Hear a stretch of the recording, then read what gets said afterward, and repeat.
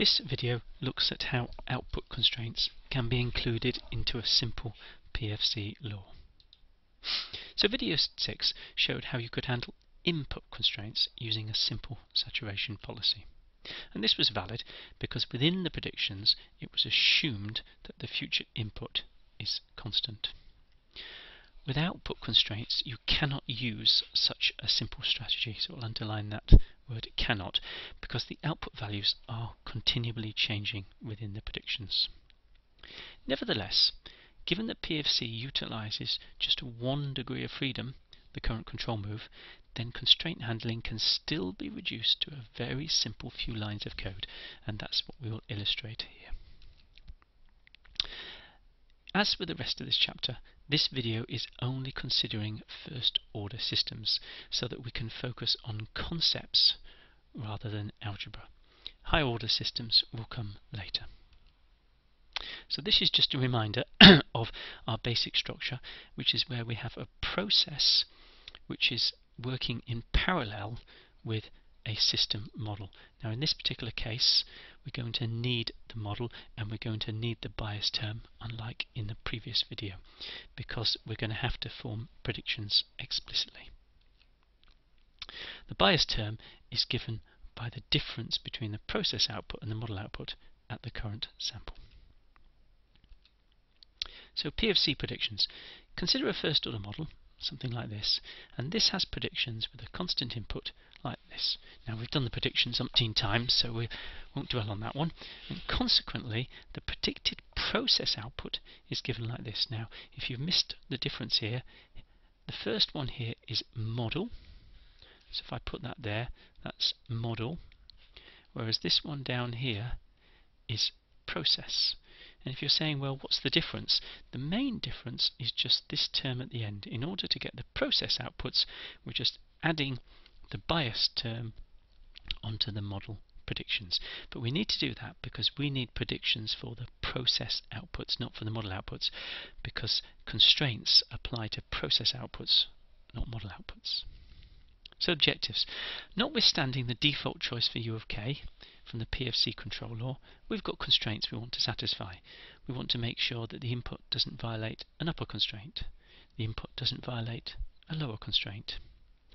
The output doesn't violate an upper constraint. Now notice, although these are only basically one constraint, this one down here is many because you're going to have to do k equals 1 2, 3, 4, and so on. The output needs to satisfy a lower constraint, again for all different future samples. The input has to satisfy a rate constraint, upper and lower. Now you'll notice I've put these in a very particular order because if you do them in this order you only need to do them once. So first check inputs against upper and lower limits and if needs be reduce them and then check whether satisfying output constraints requires you to change the inputs even further. And only in the very last step do you look at rate constraints because it could well be that by the time you've done the first four, even if rate constraints were violated at the outset, they might not be violated by the time you've done the first four. Here, we're going to assume a feasible UK exists to satisfy the requirements. And in particular, we're going to assume that you can always choose the input to be the same as its previous value.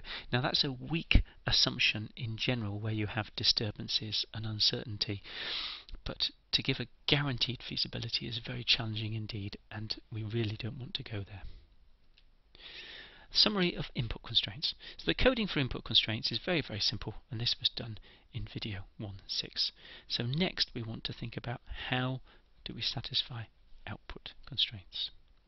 So practitioners in PFC will often code an inner loop. So in essence, they will simulate what might happen in the future and emulate closed loop predictions and use this to establish limits on UK.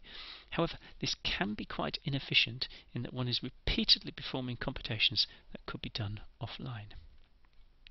So, personally speaking, I prefer to use matrix vector algebra to represent the scenario and maximize the use of offline computations. So what you're doing online is as simple as possible. So predictions then. Now I'm going to use open loop predictions, which is based upon the fact that the future input is going to be constant. So the predictions, we've already done these, are given by this equation here. Now what we can do is stack these in using a matrix vector form which gives explicit dependence on measured data, that's the process and the model output, and the decision variable, that's UK. And what you'll find is when you go to higher order examples, doing this offline and forming these matrix vector um, types makes life a little bit easier. So we'll demonstrate how you can do this for a first order model. So if we go up to n steps ahead, then you can see I can stack ypk plus 1 all the way down to yk plus n using these equations over here. Now there's nothing different there from the standard predictions, so if you need to look at this slowly, just pause the video and hopefully you'll realize it's obvious. Now the thing you might want to notice is I've defined a matrix H here, I've defined a matrix P and a matrix L because I want that notation to make my life just a little bit easier in the long term. So what I can do is I can now write that the predictions from the first sample to the nth sample can be written as matrix H times the UK, matrix P times the model output, plus this L, which is your bias term. If I want to do an individual prediction, say i steps ahead, then I can extract the ith row of H, the ith row of P, and just add the bias term on the end. So our constraints are given as y min less than yk less than y max. So each of these gives an implicit constraint on uk. So this is how we're going to do it. We're going to write that y min is less than, and what you'll notice, all I've done here is I've written down, if I put this big circle, this term here is just the prediction for yp i steps into the future you'll see I've just taken the prediction from the previous sample. Now, I've also put in a shorthand here, which I'm going to use in the MATLAB code to make life easier. You'll see this particular term in here, which doesn't depend upon UK. So once you've made your measurements, it becomes fixed. I've called this YFI because that makes everything a little bit a bit more compact. So once I've computed these YFI, I can reduce the constraints to this form here. That y min minus yfi is less than or equal to hi times uk is less than or equal to y max minus yfi. And obviously this is for i equals 1, 2, 3, 4, and so on. As many samples as you think you need to do. Now, I've put two cases here, hi greater than 0 and hi less than 0. So you need to do that because the way the constraints, if I go back here, the way that these constraints can be satisfied with simple algebra does depend upon the sign of hi. So if hi is greater than naught, then you can rewrite these constraints as this. y min minus yfi over hi less than or equal to uk less than or equal to y max minus yfi over hi. And again, you have to do this for i equals 1 2, 3, and so on. If hi is less than naught, then when you divide by it, you get a change in sign, and therefore we end up with equalities a bit like this. So that is a subtlety you need to be careful of in your code, but you'll notice that each output prediction leads to two constraints, two additional constraints on the current value of the input. So a summary of limits encoding. Ideally, you need an efficient mechanism to test for all the limits. So what I'm suggesting is you do it like this. First, you ensure that you the U satisfies upper and lower limits. Then you check the output constraints.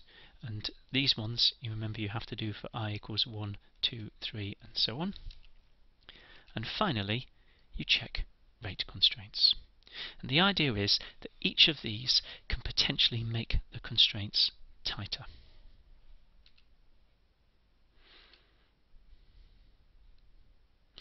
The other thing is that given we've made the assumption that uk minus 1 should always be feasible, then we should not end up in a situation where we cannot satisfy all of these.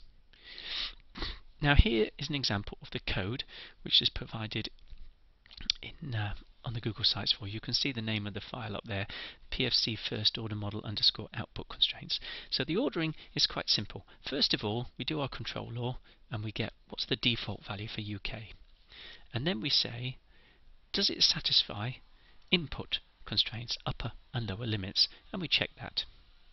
Next, in this particular box here, we are doing output constraints. Now you'll notice, because we have to check these over a number of samples, I've got a loop for k equals 1 to horizon, where you need to specify how far into the future you want to check these constraints.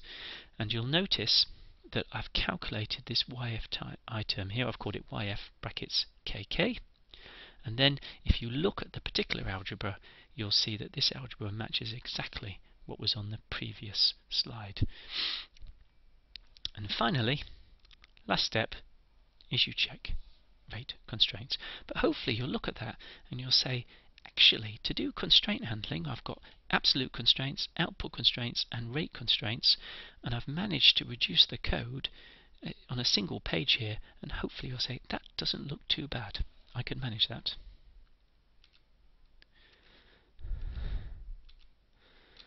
Okay. So some numerical examples, and we'll deliberately introduce some parameter uncertainty into this, just to make life interesting. So we've got a model and some process uncertainty, and as ever, we've allowed for a delay, m not equal to 0 if we want it. You see we've got absolute constraints on inputs, absolute constraints on rates, and we've also got output constraints. And the code for this is in video 18 PFC EX1 what that does is it calls a particular file at the bottom, pfc first order model underscore output constraints. So here's the first example. And what do you notice? I have plotted here unconstrained and constrained so that you can see the difference. If no constraints are applied, you get this blue plot for the input, um, whereas when you apply the constraints, you end up with this green plot. Now, what's particularly interesting is the target here is 1. And you can see that from the unconstrained output. But because we've put an output constraint of 0.8, what do you notice? You notice that that constraint has been rig rigorously enforced and the output has only gone to 0.8. There is some small output um, violations and you can see those around here and that happens because you've got parameter uncertainty so that your predictions are not perfect and that's unavoidable with outputs. You cannot have perfect predictions. Now what about including dead time? Well including dead time doesn't really change much. You'll see that all we've done is we've replaced the bias term as we've discussed before by that term there and otherwise the algebra is exactly the same so I'm not going to go through that. You can pause and you can look, but all we've done is change the bias term. And here again, you see that even though there is an obvious dead time in this particular example, the output constraints and the input constraints have been satisfied apart from a small violation there which is linked to parameter uncertainty.